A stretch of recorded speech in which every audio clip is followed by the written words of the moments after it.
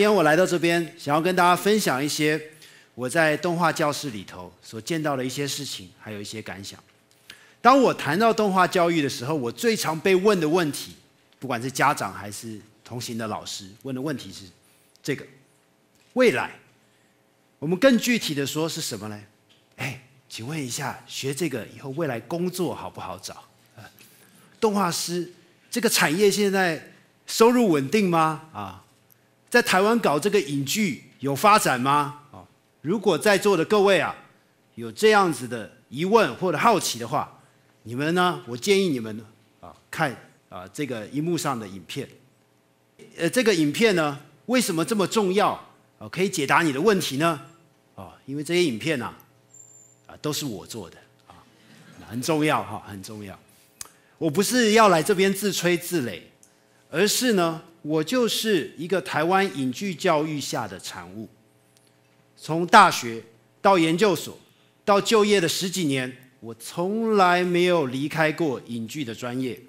我制作过很多的电视节目、广告、MTV，也入围过国内外的一些影展跟奖项。可是我要问各位的问题，是贯穿今天演讲的主轴的，非常重要。所以你们刚才有没有用力看啊？有没有？请问在座各位，在今天之前，曾经有在电视上或手机或任何的平台看过这些作品，任何一秒钟一支的，请举手。哎，不要害羞哈，因为哈，这是我人生上半场的成绩单啊。你们举手越多，表示我做的越成功哈。可以左右看一下。好，谢谢各位，你们刚刚给我一个零鸭蛋啊。我要讲的是，不要为我哭泣啊，因为我一点都不意外。各位现在看到的这一张啊，是 YouTube 每分钟上传影片的时间，每分钟。在左边的这条轴线是小时，也就从二零零七年到现在，从完全没有到现在，每分钟上传超过九百个小时的内容到网络上。这句话代表什么？代表我们每天所生产的影片量超过我们一生所能观看的，所以你们没有看过我的影片，很正常。我们进入到了一个新的时代，未来，未来是什么？未来，今天的孩子当他们出去的时候，他们面对的是一个大众传播不再像过去这么有力量的一个时代。不要讲说做广告。他们面对呃，他们面对的可能是他们将来想要做一个婚礼录影带都找不到专业制作公司，可是他们会面临，他们会有很多的工具可以去自己完成这件事情。如果我们谈未来的时候，我们在谈的是工作，那我们不需要学影像教育，因为这是悲观的。电影公司在关门，电视台在裁员，广告公司在降预算，工作没有了，我们为什么要进学校学这件事情？可是，我希望大家看一看这张图表的另外一面。为什么每分钟可以上传九百个小时以上的影片呢？是因为科技。各位现在手上的手机，比我在二十年前念电影的时候，系上最昂贵百万等级的电影摄影机画素还要好。各位现在手上的手机，比我当年在电影学校做非线性剪辑最强的电脑还要快。所以各位可以拍出非常专业的作品，也因此我们时时刻刻都在创造内容，时时刻刻都在传播。所以现在我们演讲正在直播着。你们刚进场的时候，可能给自己拍了一个照片，打了卡。各位正在做影像传播，在内容这么多的时候，如何让自己的讯息被听见、被看到？我们必须要找到最有效率的、最能够抓住别人眼球的方法。而视觉教育绝对是你的答案，视觉永远是最快速、最有效的。所以从这个方面来看，未来的孩子，今天的孩子，他们学习不是为了一个工作，而是为了他们的将来。如果今天一个人他们在申请工作的时候，一个人写了文字履历表，一个人给了一个影像的 DVD，我们很清楚哪一个人自我传达的比较好。而第三个人走进来，他带了一个频道。过去十三年来，每天他都在分享自己的点点滴滴。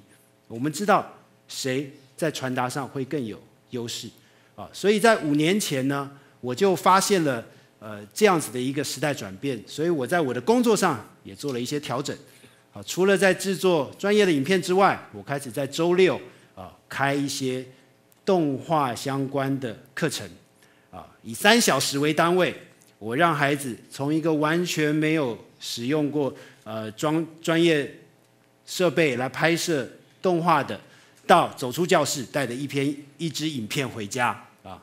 刚开始做的很简单，圣诞节我做圣诞节特辑啊，中秋节做中秋节特辑，端午节做端午节特辑等等。有玩具我们就做玩具的特辑啊。随着教学经验的增加啊，还有啊，当然我们也不能老是端相同的菜单给学生啊，所以呢，慢慢的啊，我就。呃，创造了一些其他的教材，比如说呃，剪纸动画啦，啊，或者用自己的身体来做表演，啊，把自己身体啊当成动画的材料啊，去做一些人体的动画哈。呃，也开始开发一些教材跟教具，让教学者跟学生能够在更短的时间里体验他们自己想象不到的创作，比如说我们用纸模。让孩子可以在两个小时之内建立自己的第一支偶动画，哈，啊，或者是呢，用我们调配好的粘土，用设计好的动作跟教材，让他们可以在很短的时间里头就拍摄出非常顺畅的粘土动画。而在这个基础之上，啊，他们可以再去玩他们的创意，做青蛙王子啊，青蛙过街啊，哦等等的动画。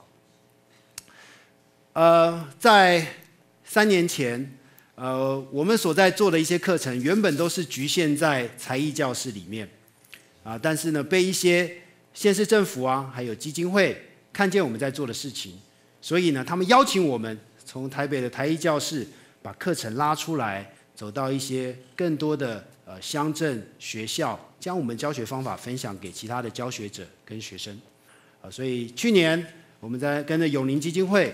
呃，呃，巡回全省，啊，深橘色的区域是我们去年所走的区域，我们将教学方法分享给超过一百五十个教学者跟一百个学生，由他们作为种子出发。今年我们已经走完全省了，啊，又再多接触了，呃，分享了三百个种子老师。呃，在这些教学过程里头，我们遇到很多的老师啊。在一天的时间里头，一天的受训时间里头，他们就彻底掌掌握了诀窍，并且回到学校呢，拍出了非常惊人的作品。为什么我知道惊人呢？因为我们每年都会举办动画比赛，让这些呃学生跟老师啊有一个平台，能够将所学能够做出呃这个一个表现。啊，去年我们的比赛呢，第一名的作品是现在荧幕上这支作品，叫《阿嬷的哔哔声》。我给各位看两分钟，看一下一个只学一天的老师，他回到学校能够带学生做的怎么样？妹妹变没有？大家好，我是曾小珍。今仔日我要甲大家分享的是我甲我阿嬷的故事。这就是我的阿嬷。大家好，我是春林阿妈。在我细汉的时阵，爸爸妈妈因为着工课，就无甲我带做伙。妈妈伊爱我好好听阿嬷的话，阿嬷对我真好，拢会买足好看的衫互我穿。伊逐工阿哥会煮少澎湃的菜互我食，规桌顶拢是我上爱食的物件。当然咯，我是足乖，我拢会甲阿嬷斗紧 hand 字条啊。但是等到我读小学的时阵，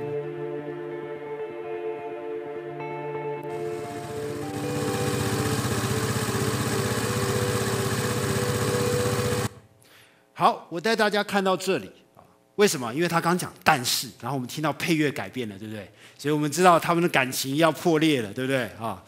我们看到这里，所以你们可以上网再去看这支作品。但是我希望大家留意一下这张图。我们看到一楼的教室上面写的“一甲、二甲、三甲、四甲、五甲”，为什么要看这张图呢？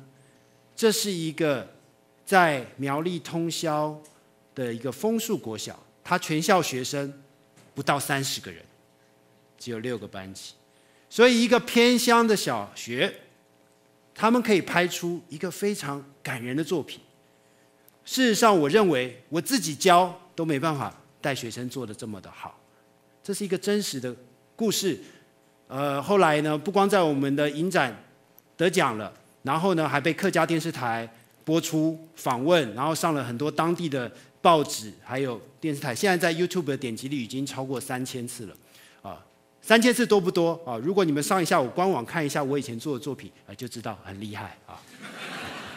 啊，三千次真的不少哈。是，那我要讲的是，就是当我们啊这个。在偏乡跟城市，到底在动画教育上有没有什么差别呢？啊，跟各位报告，也许他们阅读能力有差，数理能力有差，但是在动画的课程里头表现却是啊一样的。为什么我这么的确认？因为在我走了那么多学校，我所使用的教学方法是一样，教材是一样，教学时间是一样，甚至常常教学老师是一样的，而我们所做出来的结果。在这里，我们有四个县市在这里：台北市、苗栗，还有南投和屏东。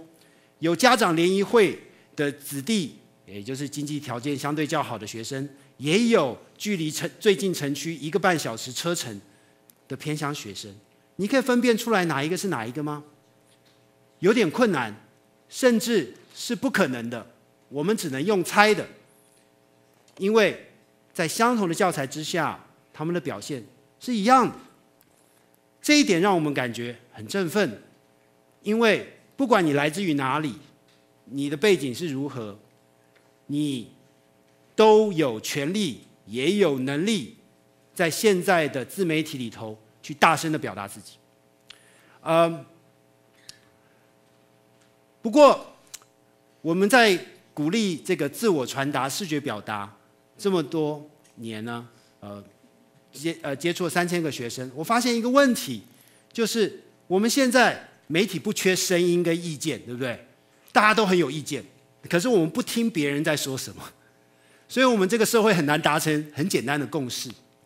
所以我开始推动团体创作，也就是说，我们让一班学生或好几班的学生共同完成一个作品，啊，一呃，在这个完成作品的过程里头，透过田野调查，我们来。认识这个问题，然后透过讨论跟编剧来建立你的观点，透过创作来将你的创意表达，透过发散来能够最后表达意见。现在你们所看到的这个呢，就是由永利基金会所赞助啊所制作的一支关于能源的影片。啊，这是预预告片。那在这过程里头，我们让他们一起看环保的影片，了解火力发电、核能发电的问题。然后用他们的创意讲说啊，北极要融化了，北极熊怎么办？啊，他们自己去做这个北极熊逃亡记啊。然后呢，一百二十个学生在十五天里面一起编剧、一起制作，完成了一个七分钟的影片。在这个过程里头，我不敢说所有的孩子都非常了解他们想要选择什么样的发电方法，但是他们的确认识了这个问题，而且了解了彼此的观点。我们将类似的创作方法呢，啊，用在很多其他的创呃群体创作的案子，像左边是新北市一个观光的影片，它是由一百八十个孩子在十五天所共同创作的。呃，如果你现在到新北市文化局所托管单位，譬如说呃新北市动画故事馆或林家花园，你会看到这支影片在循环的播放，啊，这。是我想讲，虽然想讲的就是大众媒体虽然在失去它的力量，可大众媒体可以给个人参与的个人力量。当这些孩子知道他所做的作品会在公屏幕播出的时候，他们看待他们的创作是不一样的。他们想要让大家知道他们的观点，而且并且感产生了他们的荣誉心啊！我们已经为新北市、屏东市跟高雄市制作过观光的广告。啊，然后呢，在右边这个呢，则是我们跟正大文学院、故宫博物院所共同合作的一个专案。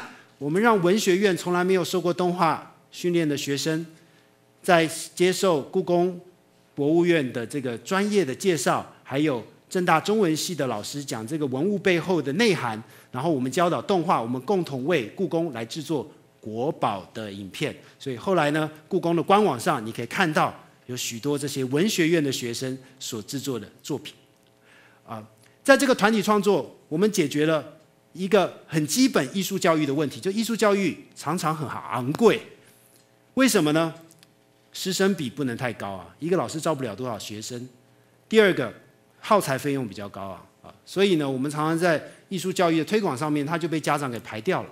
而我们在帮这些县市政府跟基金会服务的时候，哎，我们有行销的费用，来可以让降低艺术教育的啊这个 cost 啊，让小孩能够更便利的，甚至是没有负担的接受。高品质的艺术教育，并且产生荣誉感。同样的，对这些公单位也是很有帮助的，因为你知道每一个小孩参与了创作，他们的家长会做什么事情啊？发 Facebook 对不对？所以原本呢，呃，公单位的广告没人看，哎，可是这些广告销路都还不错啊。所以我们可以看到，这里头其实它也都是一个主题式的一个教学，对不对？跨科目主题式教学，他教环保，他教文物，他教等等。有人问我。有老呃老师校长问过我说，到底动画教育哪一个科目来教这件事情比较好？我的答案是，我不认为动画教育应该摆在任何一个科目里来教，它是一个素养，它可以在任何科目里头当做一个教学的工具。比如说，我举现在这一支影片的案例，它是我一个营队的学生所做的。I work so hard so all the smoke is gone. Let me clean again. 这个是一个我们所做的英文营队啊，早上上英文课，然后呢写英文的脚本，下午制作动画，把早上的英文脚本制制作出来。结束的时候，我取一个很响亮的名字——大导演国际发表会啊，有用英文。来讲啊，我这个故事的内涵啊，相信我，他们在那堂课，他们的英文真的有应用到啊。而且呢，你们也可以发现，这是一个环保的影片，所以同样的，有又是一个跨到环保领域的一个议题的作品。接下来这个专案呢，也是一个主题式的教学，我认为也让我感觉蛮感人的、蛮温馨的一个专案。家好，我是小狐狸。越南的国旗是金星红旗，他们的衣服男生和女生不一样。我们的钱和越南的钱是一比七百五。越南还有水上市场，甚至还有水上木偶戏，很特别，我也好想看看哦。我们将我们的教材呢分享给台中图书馆。所有的分馆，他们在今年暑假都有动画相关的营队跟课程。其中呢，金武分馆跟我合作了一个，就是我们让新著名第二代透过手作书和动画来介绍他们的故乡，或许是他们从来没有去过的故乡。啊，那我们跟着二十个呃新著名的第二代一起来做这件事情。啊，呃，也是一个蛮温馨的案例。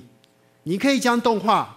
用在各种的课程，它可以是自然课程，啊，它也可以是一个原住民的文化课程，啊，我们手上有非常多这一类型的案例，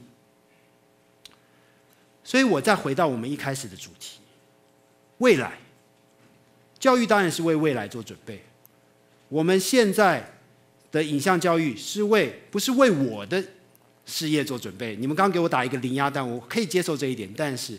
我们的下一代，他们要如何面对媒体？他们的未来是什么？我认为，现在我们国家乃至于整个世界，花了太多的时间在做职业训练这件事情，至少在影像教育是这样。所以，我们可以在大高中职大学，我们看到非常多的影视相关、视觉传达的科系，每年这一方面的毕业生超过一万人。但是我们在中小学的阶段，却没有许多的微电影素养的课程。而这一类的课程才是他们真正要面对的世界。什么时候、什么样的人适合来从呃学习动画或者是影视传达呢？任何人。公安创作了，就我在过去，我教过小学生、中学生，我们也做过创客的课程，用三 D 列印啊来呃来做偶剧，用镭射切割来做场景啊，然后这个用化学药剂来做翻模啊制作。高中生我们也做过，大学生你们刚刚看到故宫专案，社会人士啊，你知道很多人呢在公司里做人事财会，他其实心里有个动画梦啊啊。还有哦，平均六十岁以上的啊，这种社区大学的学生，我们也做过一些大胆的尝试，让祖呃这个祖父祖母跟孙孙子孙女在同一个教室里面一起来制作一个属于他们相关的故事。什么时候是执行影视教育的时候？既然它是素养，任何时候只要你准备好的时候都是好的时候。而我们在讲未来，我认为如果这个一代，他们提早准备好了，我们可以让他们提早开始。比如说三四年级的孩子，他们已经会使用平板跟 APP 了，我们不妨让他们来尝试做一支动画，做一个微电影，尝试建立一个频道来表达自己。在这个时候，我们投资下去的时间是绝对值得。如果我们能在这里开启他们的热情，让他们认识他们的影响力，他们会自己上网到浩瀚的世界里头去。弥补他不足的地方，去做出更好的影片。而从这里开始，我们可以让他发挥最大的重效。更重要的是，我们可以在他们对于媒体还懵懂无知的时候，去告诉他们一些正确但却很少人在讲的一些事情。比如说媒体管理，NCC 管理大众媒体，那自媒体呢？我们看到有多少的孩子为了要争取别人的眼球，为了要争取认同，去做一些惊世骇俗的事情。他违反了别人的隐私权，他违反了制裁权，他游走在法律的边缘。我们看到有多少孩子将他们的时间花在游戏直播、抖音这一类呃比较啊浪费生命的传播行为上，而且产生了九百个小时往上加更多的垃圾媒体。如果我们能够告诉他，媒体能够。帮助你自己能够改变这世界，哪怕是一点点。越早的时候告诉他，能够告诉他，你在现在做的每一个媒体上的决定，都会影响这个世界，影响你自己，可能会造成好的或不好的后果。建立他的道德感。那我们这一代，他们未来在面对媒体的时候，可以有很健康的一个心态。更重要的是，这世界上，我相信。有越多好的内容充斥在这世界上，这个世界会更好。啊，所以呢，我在这里邀请所有在座的教育者，如果希望今天的演讲之后，你们对于媒体教育希望呃有这个信心带入你的教室，那我很乐意跟各位一起，然后达成这个我心中的愿景。谢谢大家。